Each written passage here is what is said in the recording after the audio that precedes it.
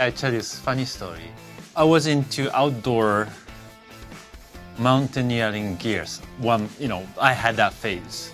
So like, oh, I really like to wear like mountaineering out, outerwear. That's really cool. Like I really want to wear. I want to be professional guide for mount, you know, for mountain or something. I, I went to camping with my friend, but I only care about like how I want to dress in the mountain. I need my gray fleece with my gray pants. So I was like, oh, probably I'm not right. Like, you know, this is not right place to be. I think I should probably be in fashion.